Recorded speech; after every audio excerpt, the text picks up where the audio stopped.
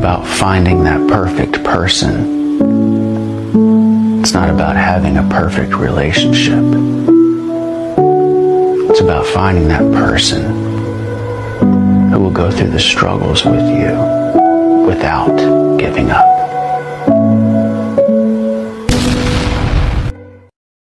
Fishing is not about catching fish. It's about the memories you make and the people you share them with. The worst day of fishing is better than the best day of work. Fishing is the only sport where even if you don't catch anything, you still win.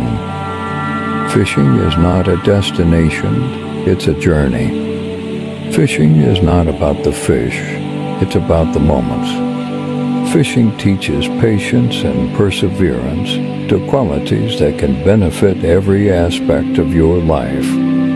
Fishing is a reminder that the simple things in life can bring the greatest joy. Everything in this world is temporary.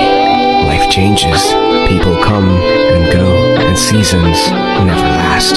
So no matter what you're going through right now, always remember that your present situation is not your final destination. Don't give up, put your hope in God, and you will overcome.